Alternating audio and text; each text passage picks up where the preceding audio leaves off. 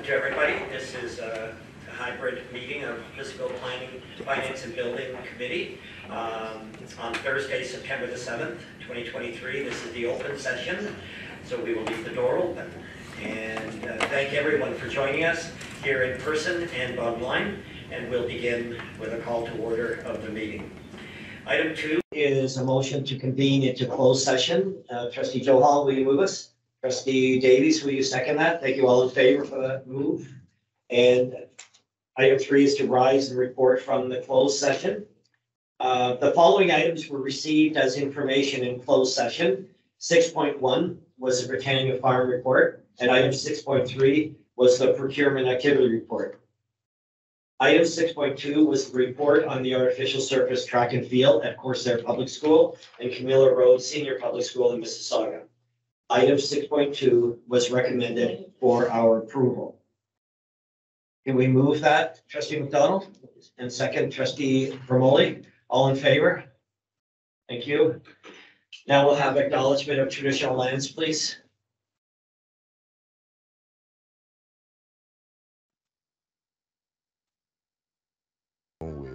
Since European contact, this land continues to be home to Indigenous and non-Indigenous peoples. As responsible community members, we value the diversity, dignity, and worth of all people. Colonialism displaced and dispossessed indigenous peoples of their ancestral land. and continues to deny their basic human rights, dignities, and freedoms. We are committed to learning true history to reconcile, make reparations, and fulfill our treaty obligations to the original peoples and our collective responsibilities to the lands, water, animals, and each other for future generations.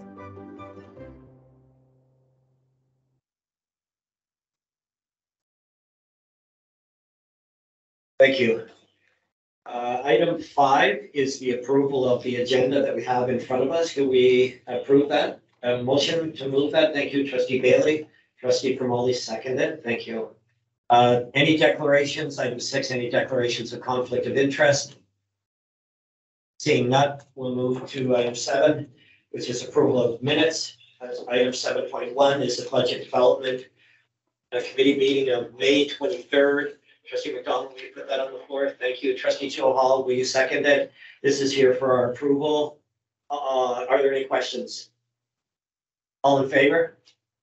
Carried. Item seven point two is the approval of the minutes from the Budget Development Committee meeting a week later. And this is here also for our approval. Uh, we'll move it to the floor. Trustee Davies, trustee Bailey, second. Thank you. Uh, are there any questions about that meeting minutes? Seeing none, all in favor? Carried. Item seven point three is the Physical Planning, Finance and Building Committee meeting minutes of June first, twenty twenty-three. Also here for our approval. We'll move that to the floor. Trustee Johal. Trustee Promoli second. Thank you. Uh, are there any questions about that meeting minutes? Seeing none, all in favor? Carried. Thank you. There are no delegations. Uh, item nine are staff reports. Item nine point one is the application status update here for our information, for us to receive as information, and the presentation by uh, Zach Tesaro. Zach. Tesaro, Tesaro. It's Tesaro.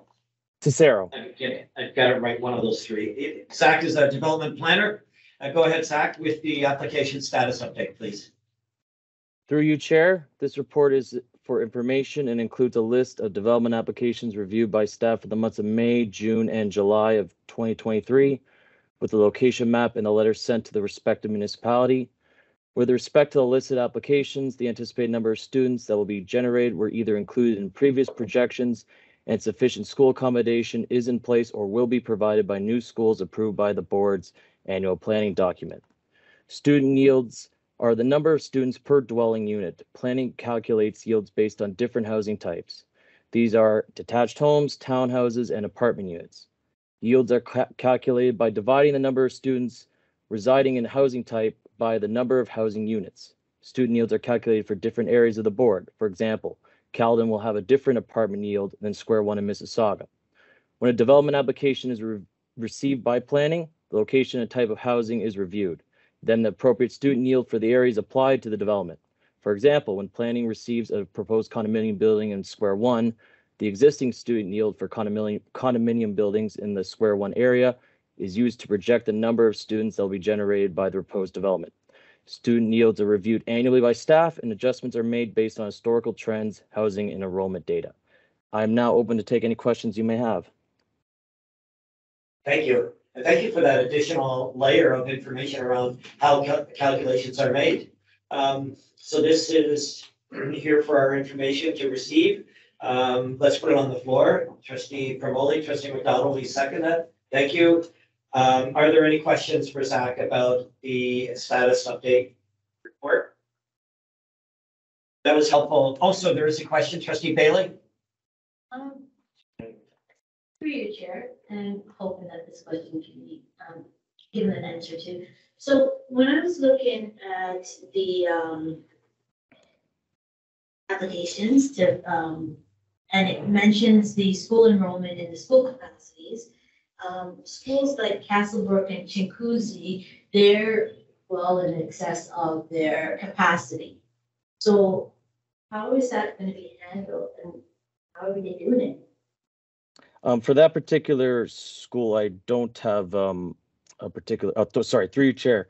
For that particular school, I don't have a particular answer for you. Uh, I know that, uh, we assess it in the enrollment and development, uh, department. Uh, we can use portables or other means to ensure that the, the capacity is met.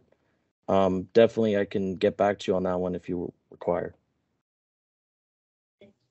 That'd be helpful. That's Trustee very Bailey? helpful. Um. Oh, one, one more question, through Go you, ahead. Chair.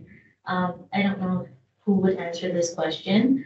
Um, so when we're looking over in like Ward eight of Brampton, I believe there's only one high school along with Chinguacousy. So Castlebrook is not really in the ward, and then we have Chinguacousy.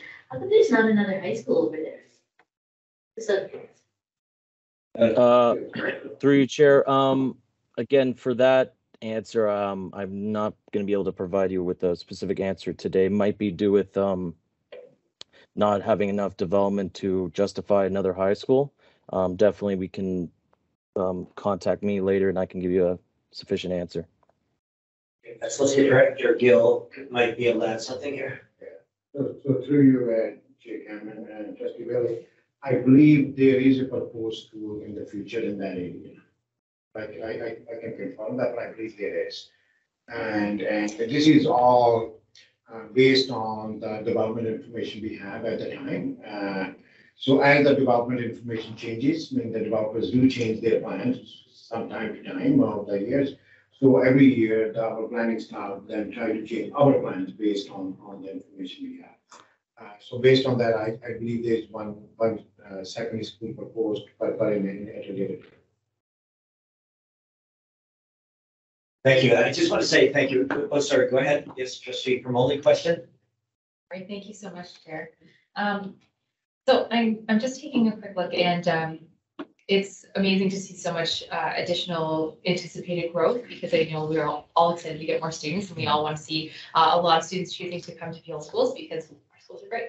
Um, so when I, when I look at some of these, I do see a significant number of additional expected students, uh, at some of these schools. And, um, and actually, when I see El Dorado Public School, is this, is this a new school? Or we're, or we're adding seven hundred and eighty-one student, or sorry, seven hundred and twenty-one students to El Dorado Public School. Uh, so to you, um, uh, Chair Cameron, and, and, uh, we, what we are indicating, when we say indicate the school, all we are doing is listing the school that is in that area. Right, so they'd But, probably but be, we will be most likely proposing a new school to accommodate the seven hundred and twenty. okay, Or it, it may only be in our plans in there, but what you have in there is just a list of the existing schools in that area. that makes sense. But there's no way, I mean, El Dorado is, I believe, around ten years old school. But, but there's no way we can accommodate seven and twenty. So there definitely has to be a new school. We would require, yeah, we would require something, sorry, through you, Chair, we would require something additional to service that anticipated number, given the significant development coming into that neighborhood. So, um, also seeing some of these schools, we would be expecting potentially, um, more than two hundred students added to schools. Would those be places where we would be anticipating potentially additions in some of these schools, or we'll we be looking more at portables for some of those?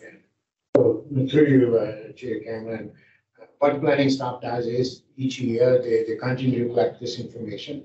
And, and there's a document called annual planning document. That is produced each year. And, and, and in that planning document, based on all the development applications, uh, there will be recommendations for any additional new schools. Mhm. Uh, there will be recommendations for any additions where we don't have the space for new school, but we will be proposing new additions. And there could be uh, some boundary changes where we have space at some other schools and, and development based on development growth, we may propose some boundary changes. So, so there are those recommendations. Each year, those recommendations are are included in the document. And, and we will do that again for, for this school year, based on our information that we have received through the Very helpful, thank you. Uh, One more question for you, Chair. Um, in schools where there would be the potential for looking at additions or where where we recognize that we'd be relying more on uh, additional portables or where we would be looking to build a new school, would it be possible for us to explore uh, the cost benefit analysis on air conditioning, given the increasing heat that we are facing right now? And I think we've all probably had a lot of calls this week um, in our, in our schools, and I know this is a problem we're dealing with in the spring into the summer months also. When we have those opportunities, can we take a look at what it looks like when we have um, new builds or additions? And then can we also look at what that might look like in schools that are also already existing? Yes, so, so through you, uh, Chair Cameron, definitely, uh, for the new schools, we, we do explore that possibility to see if that's possible. uh, And if we can build a new school, uh, with, within the funding that, that we see from the ministry. And same with additions. So we do explore those possibilities. So what else, other improvements we can include, uh, within that, uh, with, with, uh, with addition. And, uh, so definitely that, those things are all included, I mean, uh, explored at that point. As far as any other existing schools, there are many restrictions. Some schools, they just simply just, there's no way physically impossible to include air conditioning in there. And in, uh, in other places, it's simply just too expensive for us. And the ministry does not provide any additional funding to, to include uh, the AC our, any of our existing buildings. So, so what we have done over the years is, is that, uh, uh, knowing that, that there are certain days in the year where it is, it is quite hot, so we, uh, we have made sure that each of our schools have what we call that as a bit of a center, is it a library or there, which is, which has a cooling center, so we kind of rotate the, the classrooms to that area. So there's some relief to, to all, all the students that area. We, we have looked at all those possibilities, but as far as adding an AC, uh, option to, to an existing school, mainly for two reasons, it's just not possible. And the schools were there, there is no space in the, in the, in the- to include the, the, the, for, for the AC. And other times it's just very expensive. It's not uh, that feasible or financially possible for us to. to do. Thank you.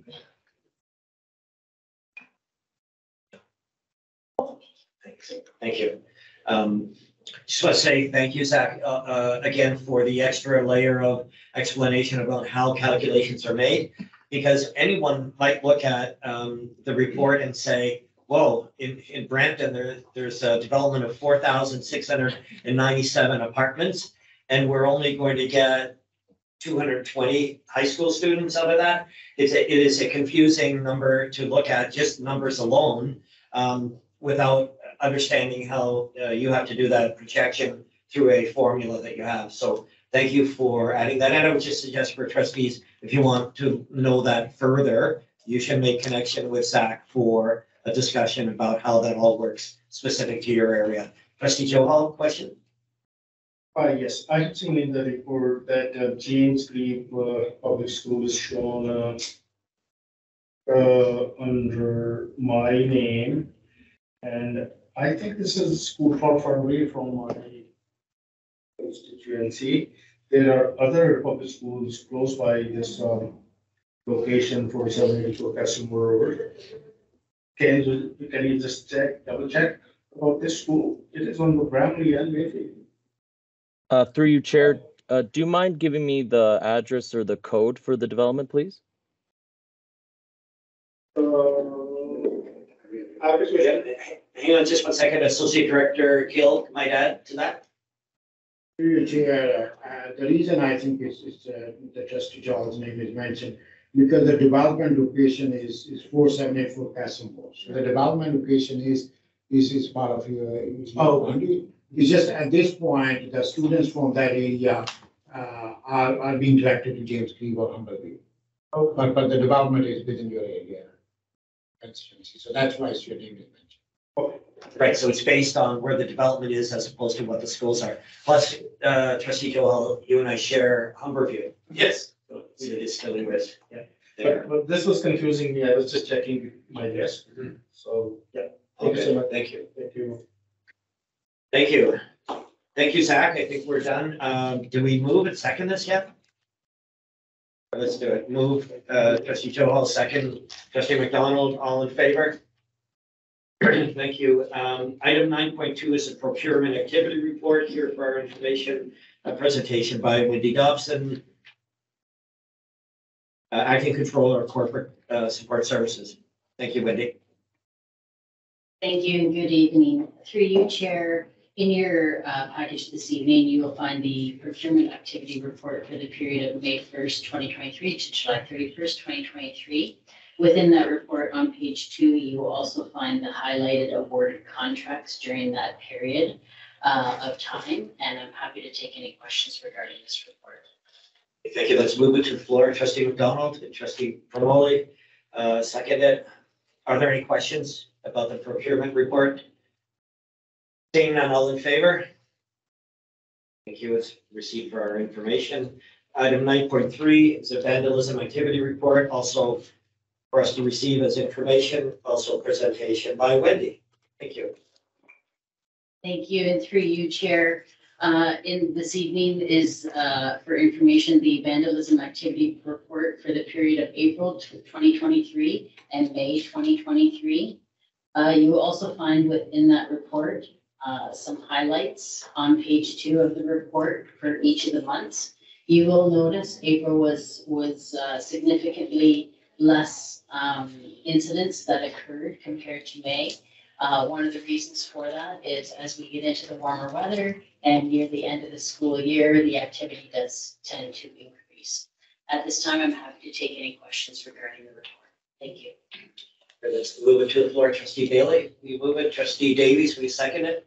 Thank you. Um, are there any questions? Yes, trustee Davis? Noticed a lot of, uh, not applicable.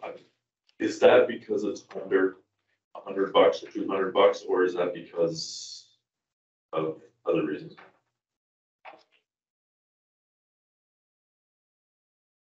Through you, Chair, uh, it is because of the, the fact that the cost was very, very low on any incident that we had. Thank you. Thank you. Any other questions? Yes, trustee Bailey? Through your chair, um, how do you set a bunker on fire? Those things are made out of stone. Sorry, it's- just,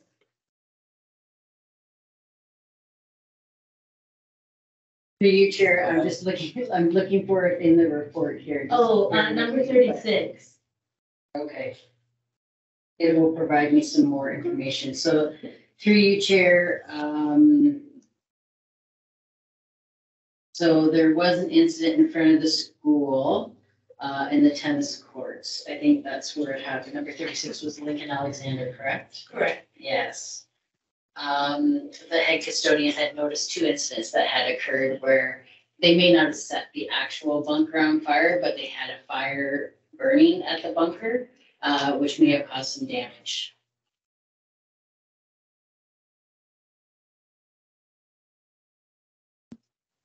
Thank you. Any other questions? All in favor of receiving this report? Carried. Item ten is uh, communications, trustee motions for consideration. I don't have any. Item eleven is trustee notices of motion, have not received any. And item twelve is for a move to adjourn. Trustee Promoli, trustee McDonald, please second. All in favor? Carried. Thank you, everyone.